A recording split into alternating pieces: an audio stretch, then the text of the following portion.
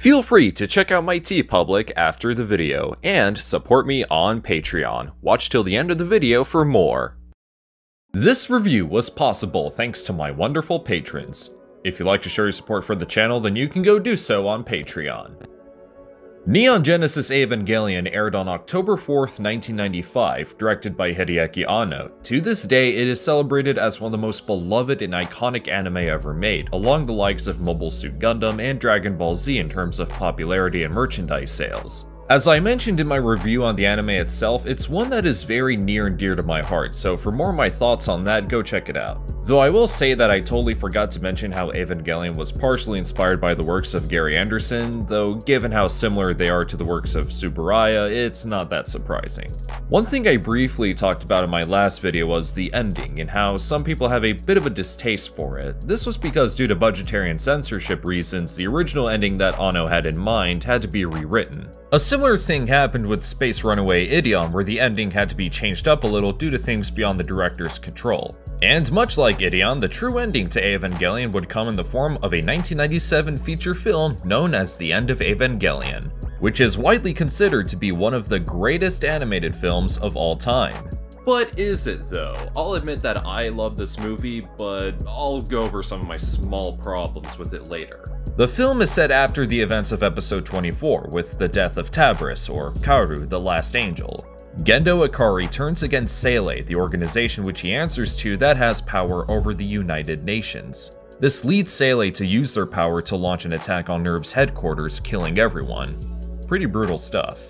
While this is going on, Misato Katsuragi escorts Shinji to Unit 1 as Asuka is fighting Seele's forces in Unit 2, including mass-produced Eva units, which is easily one of the greatest fight scenes in anime, thanks to how beautifully executed the animation is with amazing shots that showcase outstanding framing and composition. It's very Shusuke Kaneko-esque, comparing it to the Gamera trilogy. Eventually, the MP Evas get the best of Asuka in Unit 2 and brutally tear her apart in what was perhaps the most uncomfortable scene that 14-year-old Titan Goji ever sat through. And it isn't long until Third Impact is initiated, in which humanity is reduced to nothing but Sunny D, as their souls transcend to a higher plane of existence where everyone truly feels at one with each other now that mankind has achieved what is essentially its true form leaving the fate of the human race in the hands of a very vulnerable and emotional teenager who's seen some shit. So you have a movie where the fate of mankind rests in the hands of a giant godlike entity where major characters die in horrifying ways, there's Christian symbolism here and there, as well as themes relating to the annihilation of the human race. So basically the Ideon be invoked. The end of Evangelion has a very out there premise, and I think it complements the themes of the show extremely well. In my review of the show, I mentioned that learning to become a better person, human connection, helping others find peace are major core components to the show. And it's really nice to see the finale carry on those themes in the form of an incredibly operatic presentation. The movie is structured a lot like a symphony in a similar vein as 2001 A Space Odyssey or A Clockwork Orange due to how it's paced, shot, and animated. And it honestly makes it pretty unique, and the music by Shiro Sagisu only solidifies that. On top of the fact that this movie is very gorgeous to look at. You could honestly take any screenshot from this movie and it'd look great if it were hung on a wall. As for the characters, I feel like their arcs were executed really well and definitely unnerving at times. I'm always on edge when Asuka is on screen because the film knows how unsettling it is to see such strong people become so vulnerable. And I remember absolutely despising how Shinji was just utterly hopeless in the first half to the point of absolute frustration before I realized that was kind of the point. Also, the MP Evas are terrifying. I get chills every time I look at those sadistic, eyeless grins on their faces. Considering how much of a classic this movie has become amongst anime fans and film buffs alike, I'm gonna give the floor to someone else for now. Hello everyone, uh, my name is Yoko Higuchi and I'm an aspiring filmmaker living in New York City. Some of you may know me as one of the production assistants on Shin Godzilla. The End of Evangelion is a quintessential animation film to watch for any cinephile. It combines the visceral intensity of Japanese animation with the cerebral philosophical dialogue of French New Wave cinema. It's a great example of an artist pouring themselves into their work, as this film is more so a visual representation of Hideaki Anno's psyche. Some may criticize Anno's style as being pretentious or full of itself, and I can't really blame them for thinking that, to be honest. This is the expression of an artist. Um, for better or worse, uh, that is depending on your view. This is how he chose to express himself, and it's completely merciless and unapologetic. From the very beginning, he thrusts you into this mysterious, lonely, violent, sexual, uncomfortable world without any warning or hesitation, and that's one of the things I love about Anno. He knows exactly who he is as an artist and will not explain or apologize for his style, and that's honestly something to admire. The end of Evangelion has great importance to me as it opened the doors to my filmmaking career, and ever since I saw it back when I was 14 years old, I've tried many times to emulate it. The visual language on display on screen in the film's unlike anything else that I've ever seen, and is equally as meticulously crafted as any frame in Stanley Kubrick's works. In many of my films, I've tried to replicate Anno's style, and it's something that's become ingrained in my filmmaking process. Whenever I go out and shoot a film, I always ask myself, how would Spielberg shoot this? How would Kubrick, Scorsese, Fincher, Snyder? And of course, I always find myself asking, how would Anno shoot this? In conclusion, The End of Evangelion is not only a fantastic conclusion to the Neon Genesis Evangelion series, but is also one of the greatest works in cinema history. It's bold, big, thought-provoking, deeply emotional, and incredibly beautiful. All the ingredients you need for a masterpiece film. So basically, a lot of aspects of End of Evangelion are just incredible, many can agree, but I have some small gripes with it. On one hand, End of Eva makes it very clear that it takes place after episode 24 of the show, but it doesn't really feel like that. I can't quite put my finger on it, but I don't know, I feel like there's some sort of disconnect here. But that's just me. I kind of prefer the TV ending as I think it feels a bit more natural and cohesive on a narrative standpoint. And while I love the characters and how their arcs concluded, it's a lot better if you have context of who these people are beforehand because you're not gonna know what the hell's going on even though this is a finale movie, but I have seen people praise it as if it were a standalone.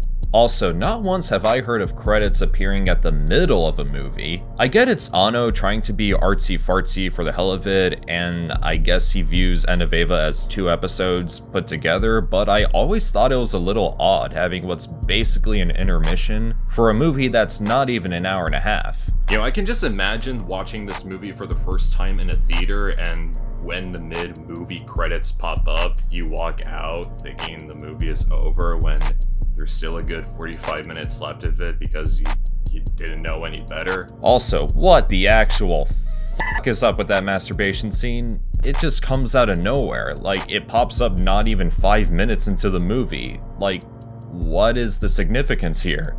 I guess it's there to just... I don't know. Even though these are pretty much my main issues with the film, it's not enough to keep me from enjoying it. Again, I think the end of Evangelion is beautiful in terms of presentation and how it ties together everything the series has been building up to in a pretty epic way. Is it a masterpiece?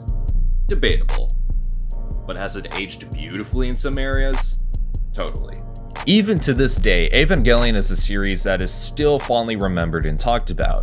It's gone to the point where filmmakers like Jordan Vogt Roberts, James Cameron, Steven Spielberg, Yoko Higuchi, and Michael Bay have all been inspired by Evangelion in one way or another. You can still see the essence of Evangelion bleed into the other works by either Hideaki Anno or Shinji Higuchi, even if that essence is a mishmash of everything that has come before. Even Robin Williams had a big hand in pre-production of the cancelled live-action Evangelion film, and as I mentioned in my last video, it was truly a product of its time, as the 90s was a decade where everything changed. Movies became more existential, music became a lot more expressive, and so forth. And Evangelion still stands the test of time as a beloved classic, and thanks to Netflix, the entire series including End of Eva and Death True 2, or Death times True Squared, Death, uh, Death and Rebirth. And thanks to GKIDS, the series is also finally getting a Blu-ray release in North America. Also, there's been this debate as to whether the ADV English dub or the new English dub for Netflix is superior. To pretty much throw in my two cents into the argument, the ADV dub is a domestic translation of the show that was made to appeal to Western audiences, whereas the new one is a foreignized translation that's basically a literal translation of the show. And because of that, I prefer the new English dub, but I will always respect the ADV dub for what it did to Evangelion back then. Though that's probably easy for me to say. Well, you got what you wanted, and honestly, I was really happy to do this for y'all. Does this mean I'll also review the Rebuilder movies or the manga at some point? Maybe another time. But I got another treat for you. Yoko Higuchi and I recorded our own commentary track for the end of Evangelion. As of now, it is only exclusive to my Patreon supporters who are subscribed to the $5 tier or above. But if that's a bit too much for you, then no need to worry because there is a 9 minute super cut of our track that pretty much gets the gist of it for non-patrons. So hope you enjoy that. But that's not all. Did you know that this video was possible thanks to my wonderful patrons? If you like what you see, then definitely consider supporting me on Patreon where for a single dollar, your name can appear at the end of every future upload. Other than that, you can also get early access to videos, exclusive content, commissioned video requests, and receive a t-shirt of your choice from my TeePublic, like this design based on Neon Genesis Evangelion. Once I reach enough patrons, I'll review the H-Man, the Secret of the Telegian, and the Human Vapor. So if that's something you like to see, then go support me on Patreon. Feel free to like, share, comment, subscribe, all that good stuff, and this is Titan Goji, wishing everyone a happy holidays, and next year, we're gonna start things off a bit cooler.